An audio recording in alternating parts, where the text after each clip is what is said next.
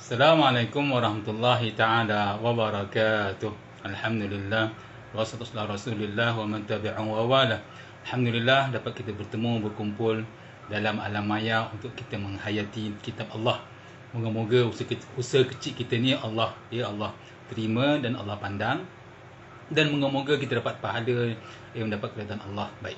Tuan dan puan apa kalau kita ada masalah kan dan terpaksa duduk dalam mahkamah kita nak pastikan kita punya lawyer yang terbaik. Kan uh, tapi nya apa itu dekat dunia. Di akhirat yang lawyer yang terbaik adalah al-Quran. Jadi tuan-tuan dan puan kalau nak lawyer yang terbaik adalah al-Quran tentulah kena baca dengan yang terbaik. Sebab tu dia sebut apa nabi sebut uh, masalul ladzi yaqra al-Quran wa huwa mahirun bihi ma'a safarah kiramin bararah. Orang yang baca al-Quran wa huwa mahirun bih mana dia cekap dia mahir kan persoalan hari ni kita yang baca Al-Quran dari kecil sampai ke sekarang ni dah tua mungkin tuan-tuan mungkin ada yang 30, 40, 50 ya mungkin ada 60, 70 adakah tuan-tuan mahir membaca Al-Quran? Kan mahir ni maksudnya ah, bukan sekadar tahu makhrajnya tahu dari segi apa tajwidnya tahu juga dari segi lagu. Kan? Sebab Nabi sebut in man man lam yataqanna bil Quran falaysa minna. Siapa yang tak berlagu dengan Al-Quran bukan daripada kalangan kami kan satu satu hal berlagu yang kedua dari yang ketiga yang keempat dari segi uh, berhenti wakaf ataupun ibtidak. Berhenti dan baca balik. Ada orang yang dia kadang-kadang dia baca cantik lah sedap sedap lah dia punya baca tu.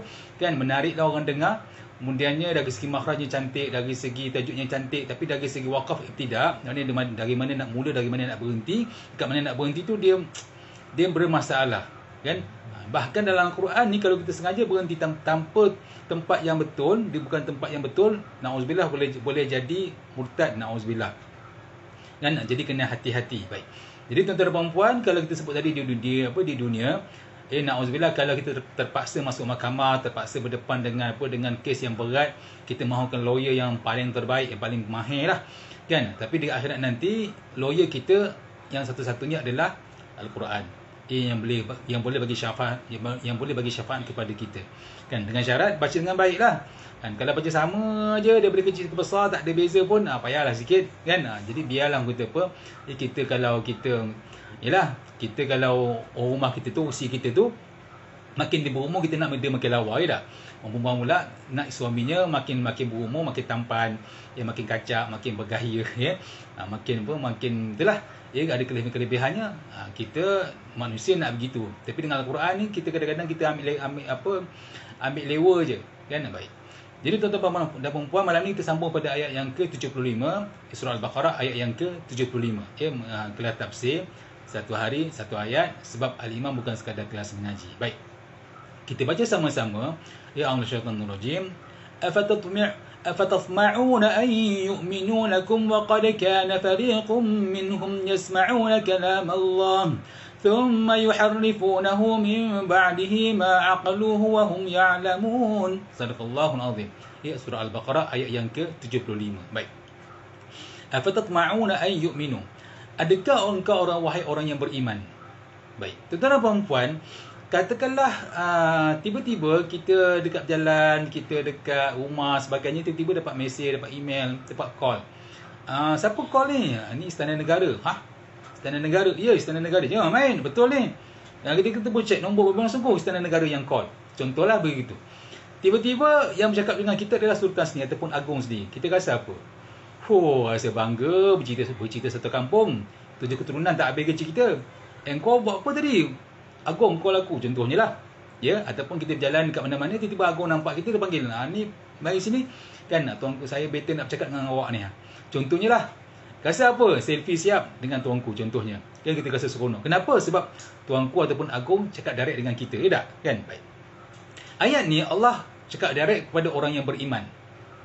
Mana ayat ni khusus untuk orang beriman? Tak rasa bangga ke sebab tu kita perlukan tafsir, perlukan kelas tadabbur macam ni supaya kita ni bila kita baca al-Quran kita rasa bangga. Allah bercakap dengan kita. Kan Allah tak cakap dengan orang lain, Allah cakap Allah bercakap dengan kita yang kita ni faham. Ha, jadi al-Imam apa buat kelas, kelas apa kelas tafsir satu hari satu ayat ni untuk kita semua faham apa yang Allah nak sampaikan. Kita merasakan Allah bercakap dengan kita. Ya tak? Baik. Ya afatatma'una wahai orang beriman ayyuhal mu'minun ya. Uh, afatatma'una ay yu'minu lakum wa qad kana fariqun minhum? Adakah kita ni nak sangat orang yang orang Yahudi ni beriman ya? Apa tu uh, sebab orang Yahudi ni diorang ni dah lawan Allah kan? Diorang ni betul-betul memang betul-betul lawan lawan Allah degil ya, keras kepala. Jadi afatatma'un ay yu'minu wa qad lakum wa qad kana fariqun minhum? Yasma'una kalam Allah thumma yuharrifuna min ba'di ma aqalu Orang orang Yahudi ni dia orang dah tahu tentang ayat Allah tapi dia orang ubah. Kenapa kita nak sibuk-sibuk sangat lagi? Kenapa kenapa kita nak kata apa beria sangat lagi? Sedangkan hati dia orang ni dah keras. Ya, thumma qasat qulubuhum dan mereka hati ni telah telah telah keras kal hijarah macam batu. Ya, au ashadu qaswah ataupun lebih dahsyat lagi daripada batu tu. Yang baik. Wa qad kana fariqun minhum yasma'una kalam Allah thumma yuharrifuna Sedangkan dari kalangan mereka, mana orang Yahudi ada yang beriman tapi yang yang sikitnya beriman, yang banyaknya tidak. Eh fariqum minhum yasma'una kalam Allah, mendengar eh kata-kata Allah ataupun kitab Allah ataupun Taurat itu sendiri. Eh thumma yuharifuna. Ataupun yata'awwalunahu min ala ghairi ta'wili. Mana dia takwilkan, ditafsirkan yang bukan yang bukan sebetulnya. Eh, macam kalimah hitatun naghfir lakum. Ya, hitah tu kata Allah istighfar dia sebut la ilaha illallah besarkan Allah ya. Tapi dia kata hitan ni tentang tentang tentang apa ni apa um, apa ni gandum. Ya Allah kata wa qul hitatun naqfil lakum. Katakanlah la ilaha illallah istighfar. Ya dalam surah al-baqarah juga ayat-ayat yang sebelum tadi ya sebelum ni kita bincangkan apa maksudnya hitah tu la ilaha illallah istighfar. Orang Yahudi kata tak, orang Yahudi kata orang Yahudi kata mungkin tah benda tu adalah apa tu tergandum tak apa lah. Nampak? Dia takwil benda yang mengarut. Takwil boleh cuma jangan mengarut. Ia berpandukan dengan ya, panduan daripada Al-Quran sendiri ataupun daripada Nabi ataupun daripada sahabat dan sebagainya. Kan bukan lu takwil sesuka hati. Ya baik. Kemudian apa tu uh, kata Imam Mujahid maksud uh, yuharrifuna. Yuharrifuna bermaksud uh, walladzina yaktumunahu humul ulama minhum. Maknanya orang-orang Yahudi yang alim. Kira-kira Yahudi yang yang alim yang dipanggil ahbar ya ataupun ruhban itu. Di ahbar tu oh Yahudi ni dia ni ulama-ulama Yahudi. Dia pakar pasal pasal Taurat. Dia tutup benda yang betul. Ya dihilangkan daripada daripada pengetahuan orang ramai. Itu maksudnya yuharifuna. Ya baik. Dan juga kata apa uh, Ibnu Zaid ya uh, maksud yasma'una kalam Allah thumma yuharifuna. Maksudnya kalau datang orang seseorang ataupun sesiapalah yang datang jumpa dengan ulama-ulama Yahudi, ahbar ni. Dan dia tanya satu hukum.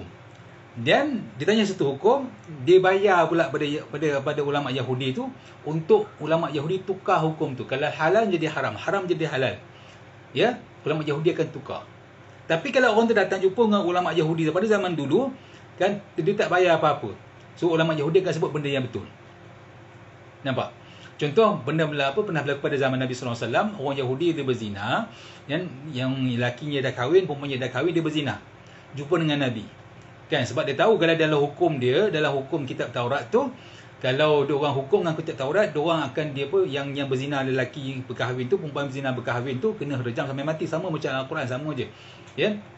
Jumpa Nabi-nabi kata ah, apa tu ah, apa kenapa pula aku nak berhukum dengan Al-Quran sedangkan kau orang ni ada kitab Taurat. Kan? Ah, jadinya hukum dengan kitab Taurat. Kemudian Nabi minta kita Taurat mana sini? Tunjuk kat aku mana kitab Taurat kau orang. Dia pun tunjuklah bila tunjuk tempat yang hukum tu yang mengatakan perlu perlu dihukum bunuh rejam sampai mati pada siapa yang berzina dengan dengan dia kahwin tu, dia tutup dengan tangan. Nabi alihkan tangan. Nabi suruh alihkan. Ya? Ha, nampak? Itu ada perempuan mana Yahudi dia tahu kebenaran tapi dia nolaknya. Ha, sebab tu apa tu orang kata Ibn Zaid ya ya Yahudi ni dia dah tahu kebenaran dia ditolak dan siapa yang bayar pada dia dia akan ubah suka hati dia. Baik. Min ba'di ma aqalu bermaksud diorang dah faham. Ifahimu ala al-jaliyah ma wa ma hadha yukhalifunahu ala basirah. Diorang tahu dengan jelas, jelas benda tu hukumnya apa. Ini yang haram, ini halal, ini kesuruh, ini kena buat ini yang ini tidak. Ya. Tapi diorang tolak juga walaupun diorang dah dah, dah, dah, tahu. Baik. Wa hum ya'lamun apa tu uh, innahum mukhti'una fi ma dhahabu ilai min tahrifi wa ta'wili. Ya, diorang tahu silap. Diorang nak buat juga. Degil juga. Ya, macam hari inilah. Orang yang ada kecil manis nak juga minum kopi yang pahit-pahit yang pekat-pekat dengan gula yang tepi apa yang banyak. Tak tahu dia ada kecil manis tapi nak juga. Apa aja hari ni. Kan ah, ada gout tu nak juga makan seafood. Eh, benda seafood tak haram. Cuma bila makan seafood dalam keadaan dia ada gout yang yang serius, tak bolehlah makan bahaya. Ya nampak baik. Jadi tuan-tuan perempuan itulah serba sedikit apa tu tafsiran surah Al-Baqarah ayat yang ke-75 ya untuk untuk kelas tafsir satu hari satu ayat. Baik.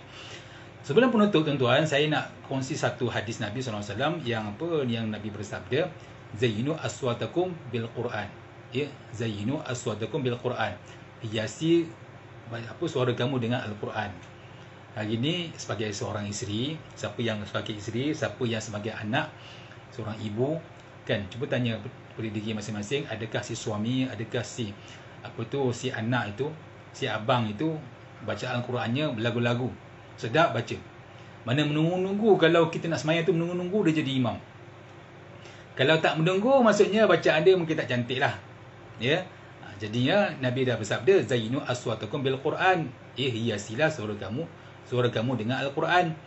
Itu Nabi punya arahan. Kan adakah kita ikut, ikut arahan Nabi? Masing-masing masuk syurga ya tak? Kan semua orang nak masuk syurga, semua orang nak syafaat Nabi, semua orang nak ikut Nabi ya tak? Kan? Jadi benda yang paling simple yang boleh ikut Nabi tanpa orang ganggu kita adalah baca Al-Quran dengan berlagu. Hari ini berapa orang yang baca berlagu dengan Al-Quran? Ya baik. Kemudian yang hadis yang kita sebut tadi, laisa minna man lam yataghanna bil Quran, bukan kalangan bukan daripada kalangan umatku kata Nabi wasallam yang tidak berlagu dengan Al-Quran. Ha, janganlah baca apa baca mendata aje. Walaupun boleh tak ada masalah. Cuma lagu lah sikit Lenggok lah sikit Tempat-tempat yang syurga tu Lenggok lah sikit. Tempat neraka tu Bagilah sayu sikit. Supaya kita ni dapat Menghayati dengan Lebih baik. Baik. Jadi sebelum penutup tuan-tuan dan puan-puan kita baca sama-sama ayat tadi. Surah Al-Baqarah ayat yang ke-75. Al-Shaytanur Rajim.